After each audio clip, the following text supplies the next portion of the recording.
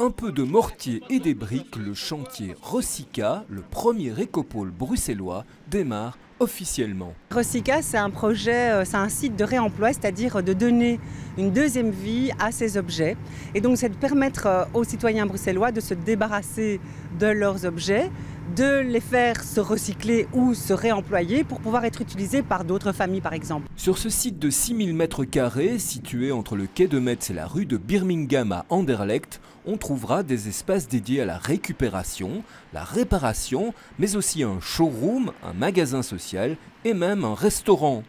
De plus, qui dit pôle de réemploi dit aussi ici futurs emplois. À terme, on espère quand même euh, pouvoir créer euh, quelques dizaines d'emplois, donc 50, ça me semble être un objectif réaliste.